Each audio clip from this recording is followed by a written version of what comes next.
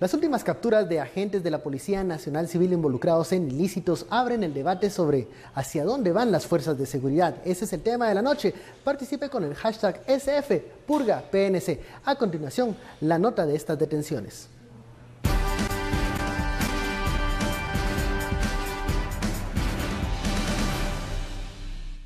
El Comando Antisecuestros de la Policía Nacional Civil ha confirmado que las dos bandas de sicarios conformadas por agentes policíacos son responsables de casi 30 hechos sangrientos en contra de grupos rivales. Estas dos bandas de sicarios capturados en Ciudad Capital y Mazatenango, su principal objetivo era el tumbe de droga. Dentro de la investigación que manejan las fuerzas de seguridad destaca que los ocho agentes policíacos capturados en estas bandas manejaban información muy importante y confidencial de algunos operativos en contra de narcotraficantes. 28 han sido los hombres capturados de estas dos bandas. Se conoce también que los detenidos son responsables de casi 10 secuestros en contra de empresarios. Dentro de la investigación de las fuerzas de seguridad también se informó que estas dos bandas recibían información importante de bandas de narcotraficantes, tanto mexicanos como guatemaltecos. Bienvenidos a Sin Filtro Lunes. Comenzamos esta semana analizando, conversando un tema eh, que hemos venido hablando en este foro, la Policía Nacional Civil, los esfuerzos por depuración, qué sucede en las fuerzas de seguridad y por qué a los guatemaltecos les cuesta tanto confiar en esta institución. La etiqueta SF Purga PNC, damos la bienvenida a nuestros analistas, Daniel Hiring y Estado Zapeta, muy buenas noches. Buenas noches. Bueno, comencemos con estas noticias que desde el viernes se generaron eh, agentes capturados el domingo también, eh, todo esto ligado a secuestros, a tumbes de droga, eh, hacían retenes en donde capturaban a las víctimas y todo eso nos da una radiografía de una PNC que no termina de ser el reflejo de seguridad que buscan los ciudadanos. ¿Por qué nos cuesta tanto que la Policía Nacional Civil sea un ente que nos brinde confianza? Y muchas veces es pues objetivo de suspicacias de lo que pueda realizar quienes las integran?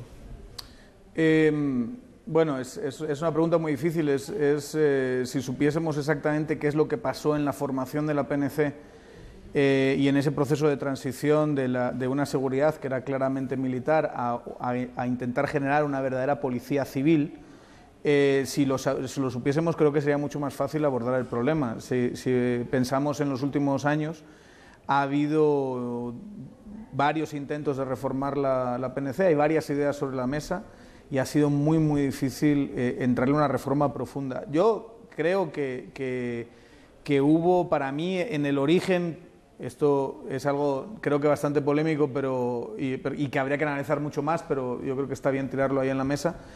Eh, creo que hubo un problema de cómo se, se trasladó, más bien no se trasladó cierto, cierta capacidad humana que estaba en la policía de ese corte militar, las distintos fuerzas y cuerpos de seguridad del Estado que fueron reduciéndose eh, para trasladar cierto conocimiento y ciertos cuadros a eh, la Policía Nacional Civil. Había, cierto, había un miedo eh, justificado e importante que hubiese una militarización de, la, de esa PNC y se quiso empezar todo desde cero. Y yo creo que en ese proceso se estableció una carrera, eh, una carrera eh, policial bastante débil, bastante floja. Es, eso de transferir capacidades, pero ¿qué capacidades transferimos a la PNC en sus orígenes? no eran esas capacidades muchas veces que actuaban al margen de la ley y que por eso vemos que siguen estas prácticas en la Policía Nacional Civil? Eh, siguiendo con la línea de transmisión de capacidades o comunicación de capacidades, eh, las capacidades que se intentaron fueron capacidades para la guerra. Y esas capacidades después, y estamos llegando a los 20 años de los acuerdos de paz, eh, esas capacidades variaron totalmente. Primero porque varió el modelo, de, el estilo de guerra. segundo porque al final teníamos una guerra en el conflicto armado que era rural, era bastante rural. Eh, versus a, guerras, y no una, sino varias que tenemos ahora que son urbanas. Entonces, e, esa transmisión de capacidades quedó eh, pues eh, corta, insuficiente, inoperante muchas veces, pero al mismo tiempo también, y quiero enfatizar lo que dijo Daniel, y es que En la policía hemos estado viendo o hemos visto hasta recientemente el fracaso ya de dos posibilidades de reforma policial. Eh, venimos 11, 12 años ya con el tema de reforma policial y eh, no hay modo, no una hay forma. Es una misma que es la comisión, pero ha tenido dos comisionadas. Dos, pero es una misma, si lo piensas. Y, dos, dos reformas que uno no sabe al final qué fue lo que eh, sucedió. ¿En dónde se equivocaron estos esfuerzos de reforma yo, creo Que, yo creo que la, la, lógica de guerra nos hizo ver una Policía Nacional civil por un lado y un ejército de Guatemala, digamos, muy militar por otro lado cuando en realidad la mayoría de fuerzas policiales son por definición fuerzas que son o militarizadas o pertenecen, por ejemplo en el caso de Colombia, son parte de las Fuerzas Armadas. La policía de Colombia es parte, es una, la cuarta fuerza, hay fuerzas de mar, de aire, de tierra y hay una fuerza de... Entonces ahí sí hay una diferenciación que nosotros, por ser tan... Eh, pulcros de, irnos a lo civil totalmente, eh, eso es lo que tuvimos resultado. Pero estos cambios, esta purga que se está dando en la policía hoy, es también el anuncio que termina eh, seguridad ciudadana. Si usted ve a esta gente de verde que dice SC, un parche con SC aquí en el brazo, ellos eh, dejan de funcionar aproximadamente en enero. Poco a poco los van a ir sacando. Eh, de hecho, los recursos para seguridad ciudadana pasaron ahora a ser parte de unos 400, arriba de 400 millones, a ser parte de la Policía Nacional Civil con un prerequisito, o se depuran o se depuran, o se purgan o se purgan, no hay para dónde. ¿Que ese modelo no funcionó al final? es un modelo que viene del tiempo del presidente Berché. Mm. El, el, modelo fue, fue el cruce desesperado eh, primero de, dos culturas que son muy diferentes. Era muy mediático el asunto. ¿Se recuerdan cuando Oscar Berché entraba a los barrios, al Gallito, por ejemplo? Me recuerdo. Sí, pero entraba con seguridad ciudadana. Y luego, pues obviamente eh, viene también, es que viene un cambio en la policía, viene un cambio que sí tiene prerequisitos, por ejemplo la purga, eh, por ejemplo la eliminación de seguridad ciudadana. Los más interesados en que se elimine seguridad ciudadana es la misma eh, Policía Nacional Civil y el Ministerio de Gobernación, eso ellos lo han dicho pues, y, lo han expresado siempre. Es un modelo que parece ajeno a lo que quieren crear en el Ministerio Porque creen no necesitar, por ejemplo, a la seguridad, a los, a los elementos de seguridad ciudadana. Vamos a ver cómo responden las comunidades. Aquí. Vamos a ver qué tal, porque muchos sí se adaptaron a ese modelo. Vamos al primer corte de la, de la noche, y ya lo sabe, la etiqueta SF Purga PNC. Volvemos.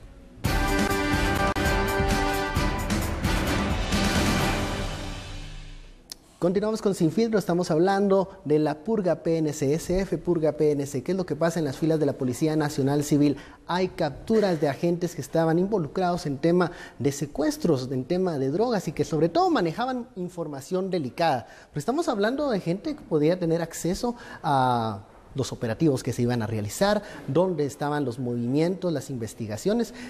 ¿Por qué aún contamos con esos malos agentes en las filas de la Policía Nacional Civil?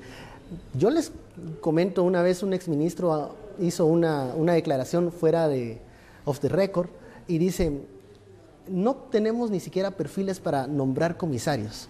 Cuando se tiene esa realidad dentro de la Policía Nacional Civil, ¿cómo fortalecerla? ¿Cómo esperar que hayan cuadros adecuados para esos... ¿Y a, qué se, a qué se refiere que no tenemos esos perfiles? Eh, tienen que agarrar de, los policías que hay eh, y tienen que poner a alguien a dirigir una comisaría y ese alguien muchas veces no tiene capacidades administrativas, capacidades financieras para tener un presupuesto y, manejar eso, no tiene un excesivo liderazgo, no tiene unos conocimientos superiores de investigación criminal ni de, ni de modelos de seguridad ni nada parecido pasa mucho también en, eh, en, el sistema penitenciario. O sea, tienes a gente que es ascendida y que no tiene las, las, capacidades. Entonces volvemos otra vez a lo mismo. En gran medida es un problema de, sistema de servicio civil. ¿Son más fáciles de corromper estos agentes en esas La, la verdad es que eh, esto es, eh, también muy complejo. Habría que ver y comparar si somos capaces de generar una policía profesionalizada qué tan blindados estarían ante eh, unos capitales que son obviamente muy superiores a los que, a los que ellos en sus vidas personales o cualquiera de nosotros pueda, pueda manejar. Eh, sí hay estudios bastante claros que apuntan a que cuanto más profesionalizada es una burocracia, y eso implica cuanto más difícil es entrar y más te tienes que ganar a través de tu, de tu esfuerzo la plaza o los ascensos, menos corrupción hay. Si hay una relación bastante importante entre esas variables. ¿Qué pasa? Que nos enfrentamos ante el fenómeno, este caso concreto a mí me parece que clarísimamente es el fenómeno del narcotráfico, el que estás, el que estás viendo aquí. Eh, a partir de 2008, incluso un poquito antes, pero sobre todo por todo lo que hizo Juancho León en su momento, que alteró las rutas de narcotráfico tal y como existían en Guatemala, empezaron los policías a robar, que ese es el famoso tumbe, eh, tener información de por dónde iban los cargamentos, robarlos y una vez que los has robado el beneficio es muchísimo mayor. Entonces tienes la, tienes la infraestructura, tienes la gente armada, tienes... Entonces, eh, claro, el incentivo que pueda tener alguien que tiene un salario bajo y que mm, ha entrado además de una forma a veces eh, no tan estricta, vamos a decirlo así, sin tanto esfuerzo a, a su plaza como, como policía, y que se meta a, eh, a manejar esa clase, esa clase de capitales es complicado. Es complicado o sea, eh, entender si, si, si, es fácil decir que no a una tentación como esa. ¿Por qué se corrompen nuestros agentes, Estuardo? Eh, primero, la, la, pregunta creo que sería un poco un, nivel arriba. ¿Por qué se infiltra la policía? ¿Por qué, porque hay, es, hay policía cooptada. Si es, policía cooptada. Y, tiene que ver mucho con eh, los parámetros de sueldo, los parámetros de, digamos, de facilidades que se tiene, de vida. Y yo quiero pedirle a los televidentes que hagan un ejercicio esta Navidad. Porque eh, los policías, todos los policías en Navidad están adentro, no, no tienen permiso. No tienen descanso. No tienen descanso, no hay descanso y para Año Nuevo igual, por el nivel de alerta que se tiene en este, en este momento, igual que bomberos, igual que servicios estratégicos. Y que vayan a ver con sus hijos cómo vive el policía, cómo son las comisarías. Pregúntenle al policía qué come, eh, peor aún, o más duro todavía, cuánto gana alcanza, va a ver a sus hijos, no va a ver a sus hijos, cada cuántas veces va eh, durante el mes o, durante cada dos meses a ver a su familia, de dónde es. Por ejemplo, si, si es un policía está en Zacapa, pero es de San Marcos, eh, solo el precio de ir de Zacapa a San Marcos o de San Marcos a Zacapa, si fuera el caso contrario, o Jutiapa, es bastante alto. ¿Cuántas veces pueden ir? ¿Cuántas veces tienen que moverse? O sea, hay cosas que son muy, muy, muy elementales. Sí, y que son de recursos humanos. sí, y por eso es que lo del servicio, que tendría que empezar como hizo el exministro, ahora pues en la cárcel, pero el exministro Bonilla, ¿verdad? De, de, empezar a ver la posibilidad que Hablando de nexos con el narcotráfico. Eh, precisamente por eso, pero digamos en términos de la reforma, lo que traía la reforma mucho antes de Bonilla era que los policías fuesen locales para conocer a su, a su gente y si no, pues que fuesen de la región y así hasta si no hay de la región y todo, y, pero un buscar más comunitario un modelo más comunitario pero además qué compromiso tiene la comunidad, porque también esa es la contraparte de la policía. La policía no, no está actuando en un vacío, está actuando en una relación de tiempo-espacio que se llama comunidad, está actuando para usted, para mí, para todos. Estuardo, eh, por ejemplo, en otros países vemos Estados Unidos donde muchas de las fuerzas de seguridad son entidades locales que conocen la comunidad. Localmente, administradas electas localmente. o sea, hay, un elemento extra. ¿Podría eso ayudar a la comunidad a tener más confianza en quiénes son los que la están cuidando? Yo creo, ¿O, es algo irrealizable en este momento, teniendo en cuenta que si decimos que van a haber líderes de seguridad comunitarios, esto se puede desembocar en unos caudillos y se nos puede salir de las manos también. vigilantes, sí. Eh, sí, pero eh, pero precisamente por eso te decía, elevar la pregunta un poquito más por una razón sencilla. ¿Cuál es el rol de la contrainteligencia, en este caso la URP? si no hay otro nivel de contrainteligencia en la policía, de todos los elementos que se tienen para ver estar viendo, que también es un caso de recursos humanos, pero va, más va mucho más allá de recursos humanos, es en qué están metidos. Eh, por ejemplo, un caso muy común en la policía es el nivel de deuda que tienen los policías. Hablabas de los sueldos y hablabas de esto. Sí, pero ya hemos revisado el nivel de deuda deuda, deuda literalmente que tienen los policías, porque ahí hay presiones muy claras. Si el crimen organizado sabe ese nivel de deuda, pues ya saben por dónde entrar, y ya saben a dónde, a dónde pegarle. Más arriba y mencionamos lo que decía Daniel, esto que salió publicado en Inside Crime de López Bonía, donde, bueno, si vemos que la cabeza tenían planes muy diferentes a brindar seguridad ciudadana, eh, pues para abajo todo se va, se va a corromper. Recursos humanos, los agentes. Yo no creo tanto en eso, fíjate. Eh, yo creo que, eh, porque realmente si ponemos a eh, otra cabeza con, eh, que es mucho más honesta y que no está metida en esto, yo, yo estoy convencido que el, que, el, eh, que el ministro Rivas es una mucho mejor persona que, que Mauricio López Bonilla. ¿Crees que van a seguir no funcionando creo los, que, los no creo medios? que sea el problema, o sea, no creo que soluciones el problema. Yo creo que el problema se soluciona más bien de abajo hacia arriba. Es decir, creando y no tanto descentralizando, porque hay que pensar, todo modelo descentralizador está bien tener en cuenta la comunidad, está bien cooperar con la comunidad, pero todo modelo de descentralización, eh, sobre todo cuando te vas a ciertos municipios, no hay recursos para implementarlo.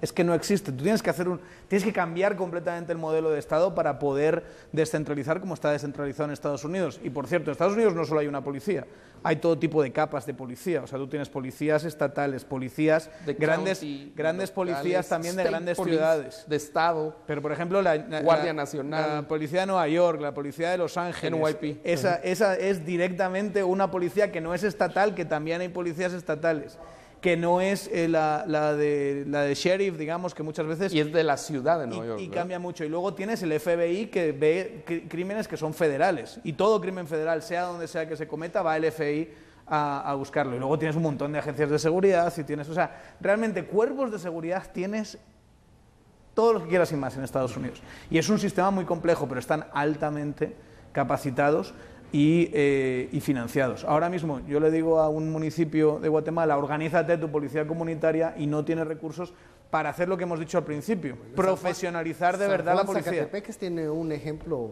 mm, realmente Oscuro. oscuro de Negro. ha sido la, la Mira, Bueno, la comunidad no- suplió a la policía, no pero por la hacer- comunidad no- terminó matando a, a su propia no por, gente. hacerla, no por hacer la comparación, porque es, es muy compleja, pero sistemas de defensa comunitarios, por ejemplo, en barriadas italianas de Estados Unidos, lo que se llamaba la mafia. Bueno, vamos al, al segundo corte, regresamos con este tema, eh, seguimos con la etiqueta SF Purga PNC, volvemos.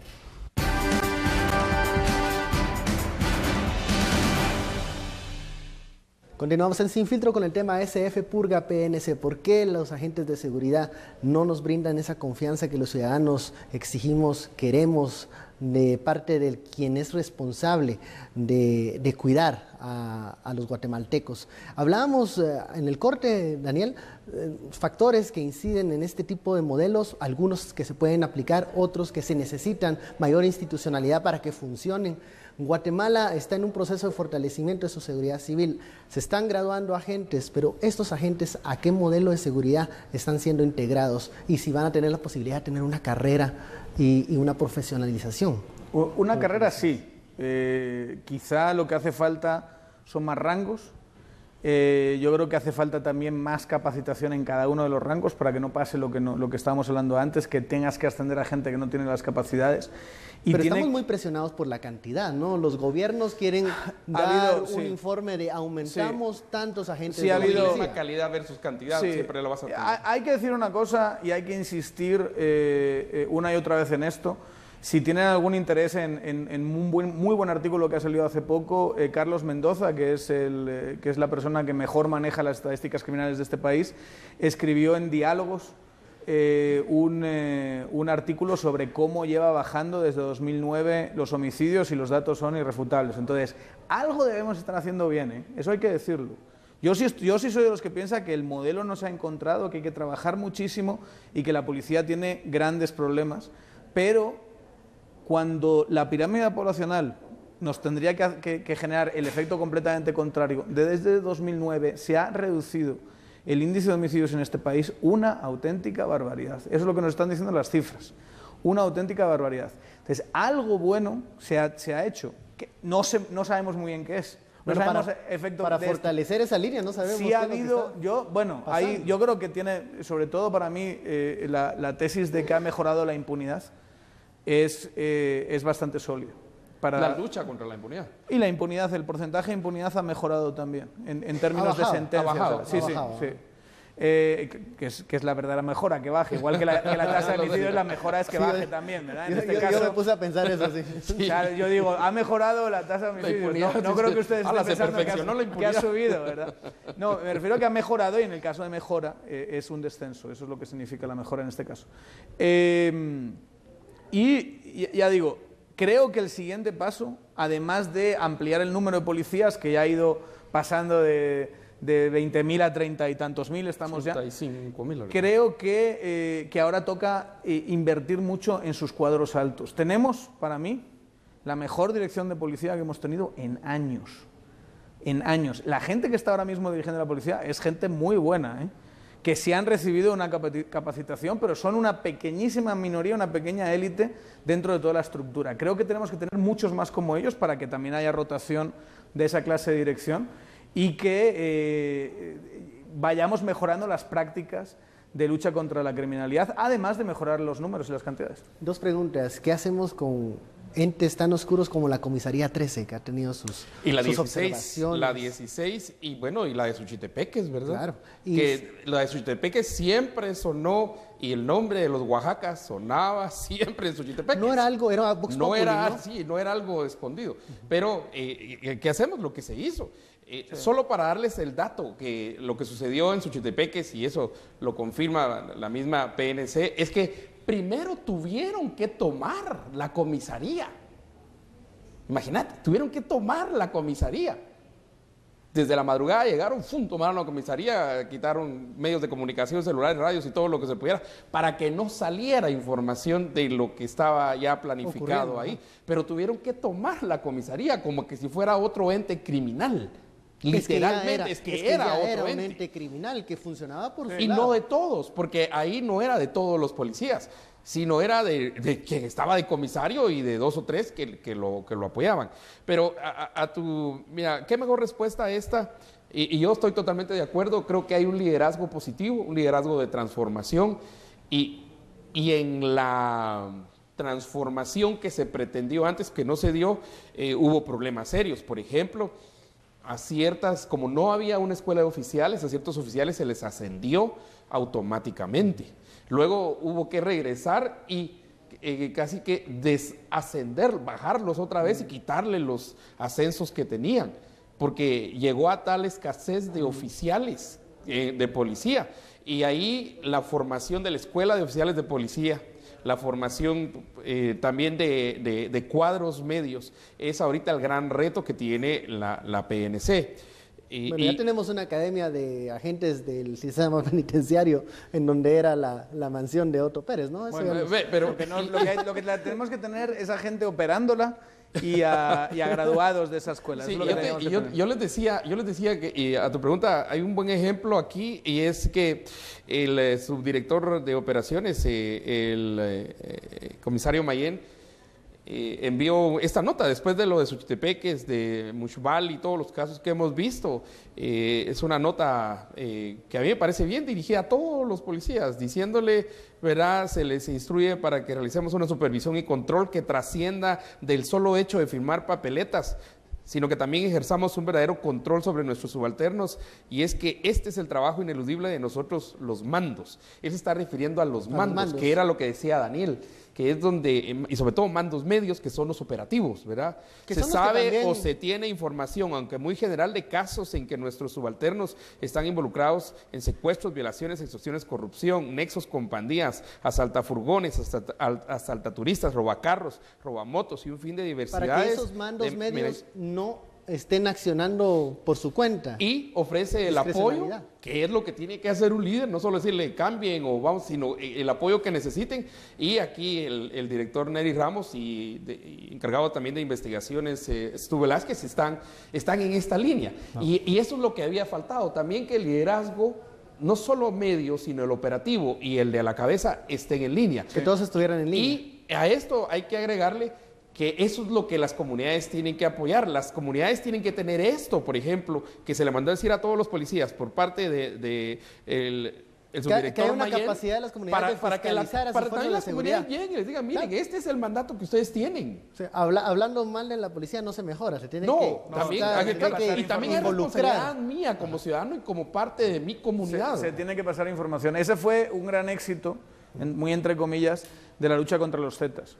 Los Zetas, eh, cuando entraron en Guatemala, y ahora ya prácticamente eh, es, parte del pasado esto, tenían que combatir contra, eh, y lo, lo, hacían militarmente muy bien contra las estructuras de narcotráfico de Guatemala, arraigadas en Guatemala, pero la gente se les empezó a, pasar información a las autoridades y ahí es donde empezaron. Ahí es donde se pudo hacer ese Solo decir una cosa, no vamos a librarnos de, estos, estos casos. ¿eh? siempre van a pasar. Siempre va a haber cierto grado de crimen organizado en las policías porque es así en todo el mundo. Tiene que ser la excepción, no, la regla. llegamos al final de estos 30 minutos. Muchísimas gracias, Estuardo, Daniel, por este análisis. Y a usted muchas gracias por su sintonía. Esto fue Sin Filtro. Nos vemos mañana.